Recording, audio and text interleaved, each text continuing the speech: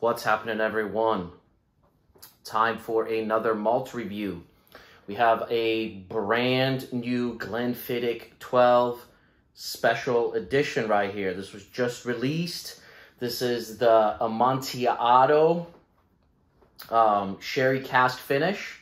Um, I believe Glenfiddich is doing a few different special releases. Um, this being the 12, uh, matured uh, in, let's see, it says here, let's make sure I don't get it wrong. 12 years in American and European oak sherry casks before finishing in Amontillado casks. So the finishing, so it's aged both in American and sherry, and then it also finishes in the Amontillado casks to add this nice sherry depth.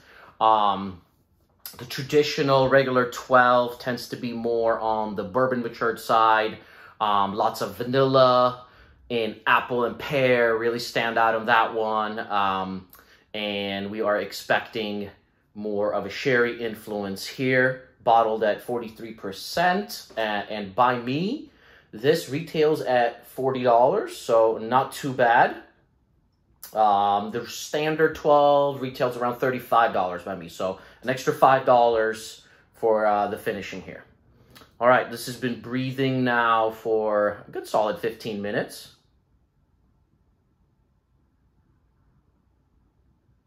Right away, you could definitely tell this is Glenfiddich,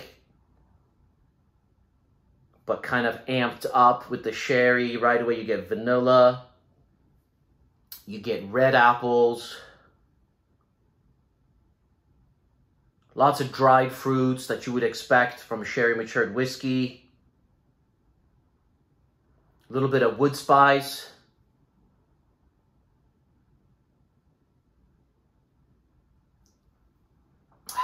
a little bit of milk chocolate and some toffee.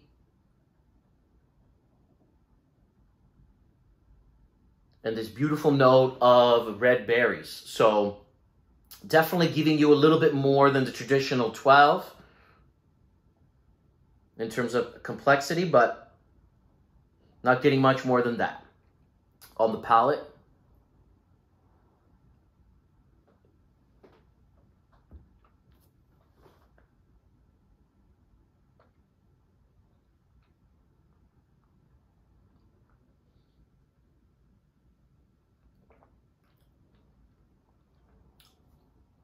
very easygoing mouthfeel. It's smooth, just like the Glenfiddich 12 is as well. It follows suit, vanilla right away, rich red apples, a little bit of those red berry fruits, a little toffee, um, and some of those sherry spices kind of coming through from those wood spices. It's very balanced. It's well integrated. It's definitely an entry level whiskey um, that's been kind of amped up a little bit with the sherry. So if you're into sherry uh, and you, you know, like the Glenfiddich 12, but you want to experience it with a little bit more sherry influence, then this is definitely something to grab, especially at $40. It's not an offensive price. Um, I do think that this is a little bit more complex than the standard um, 12. I think the mouth feel on this actually is a little bit better, a little bit more oily.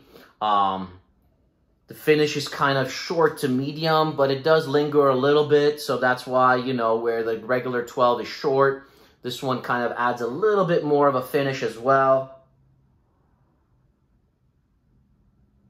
It's pretty pleasant. One more sip.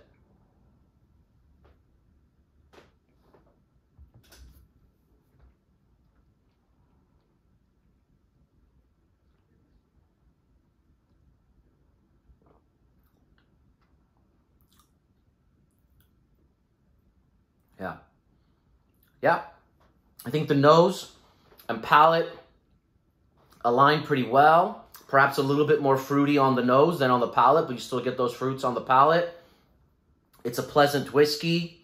Um, it's something that I certainly don't regret buying for $40. It's something that I think my guests are really, really going to enjoy. Is this the hardcore whiskey enthusiasts whiskey? Probably not, but will they enjoy it? I do think so. Uh, certainly, if you are um, a beginner to single malts or a fan of Glenfiddich in general, I definitely highly recommend grabbing this. In terms of a score, I'm going to be giving it an 81 out of 100. Subscribe if you haven't. We're going to be bringing you guys reviews every Monday, every Wednesday, and every Friday. Three reviews a week. So if you're not subscribed yet, make sure you do subscribe and click the thumbs up. Lets us know that you're enjoying the reviews. And we'll see you soon for many more. Cheers.